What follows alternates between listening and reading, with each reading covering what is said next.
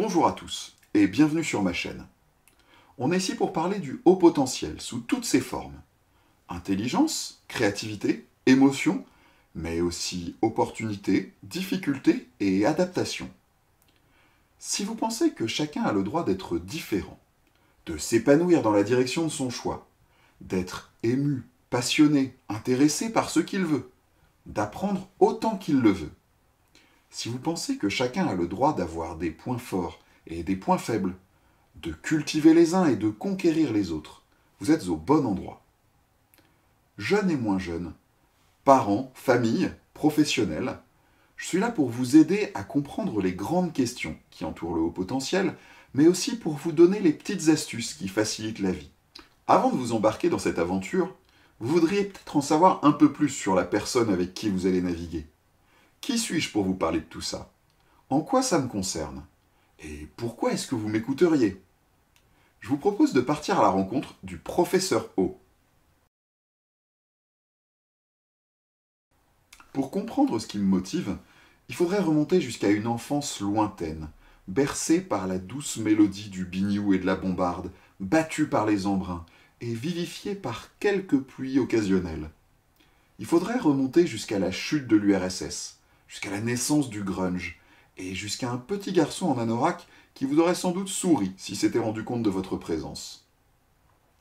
À l'époque, j'avais un monde intérieur très riche, et quand j'émergeais de mes aventures d'espion spatio-temporel chevaucheur de dinosaures dragons, le monde dans lequel je me réveillais était aussi mystérieux. Dans ce monde-là, j'étais plein de choses aussi.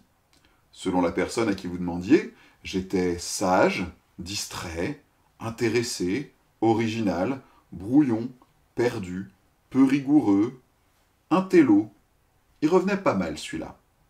J'étais frustré par l'écriture qui tient pas sur la ligne, par l'agenda qui ne semblait jamais rempli, ou par les mystères des interactions humaines. J'étais aussi fasciné par les connaissances nouvelles, par les mots et les images, par la puissance des idées. Les années passant, je me suis dit que je voulais partager ces passions. Comme tout le monde, j'ai eu des modèles positifs et des modèles négatifs. Les premiers m'ont poussé et encouragé, en voyant en moi autre chose que le cancre qu'il m'arrivait d'être, et les deuxièmes m'ont fourni le bel exemple de ce à quoi je ne voulais absolument pas ressembler. J'ai fait des études de lettres, qui ont été plus ou moins intéressantes, et j'ai passé le concours. En 2009, j'ai commencé à enseigner.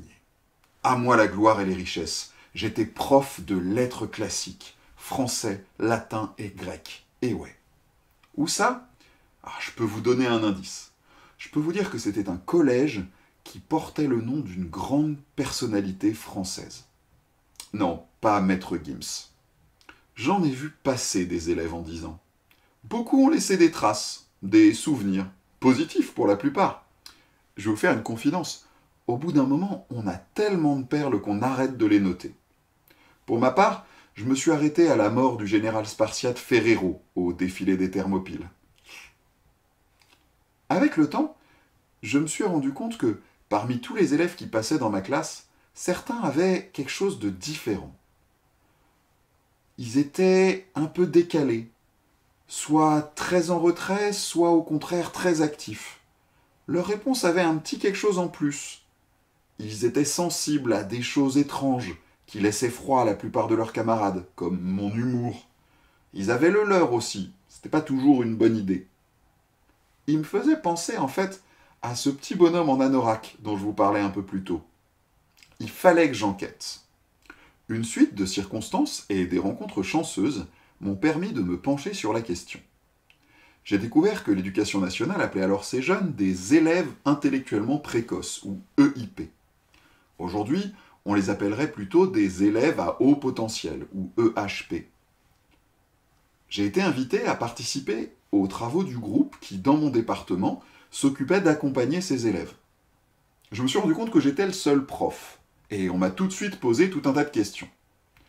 Alors je me suis retroussé les manches. J'ai lu, beaucoup lu, dans plusieurs langues. J'ai rencontré des médecins et des psychologues pour comprendre leurs mécanismes et leurs démarches, j'ai suivi des formations et des conférences.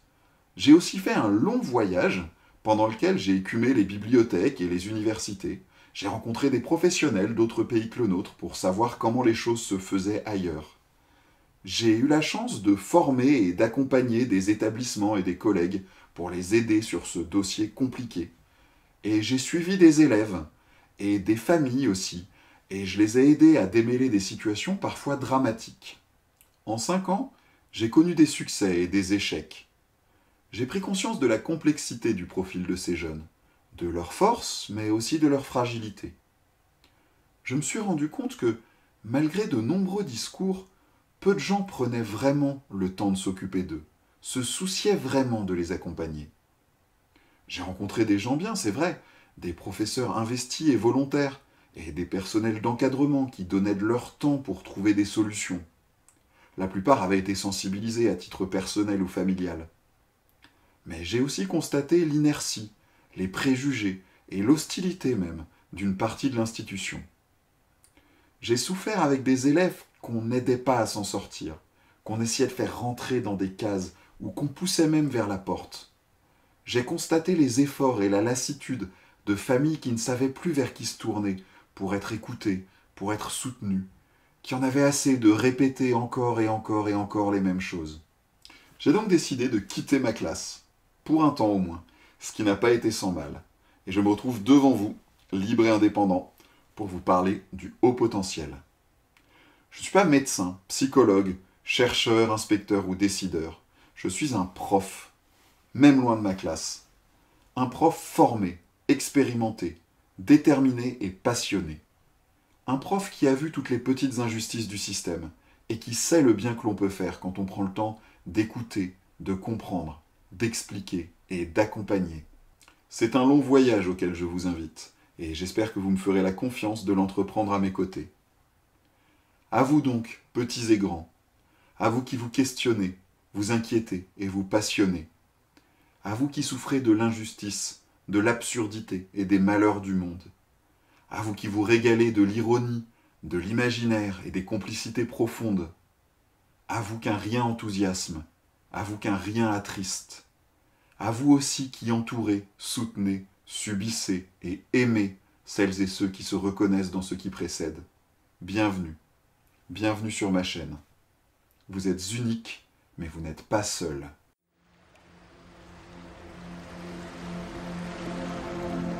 Si ce qui précède vous a intéressé, n'hésitez pas à vous abonner, à partager la vidéo ou à en parler autour de vous. Vous pouvez aussi consulter ma page Utip pour me soutenir plus directement et mon site web sur lequel je propose tout un tas de choses et notamment de l'accompagnement individualisé. Avant de vous laisser, je tiens à remercier chaleureusement Laurie qui m'a fait l'honneur de dessiner un professeur haut idéal. À bientôt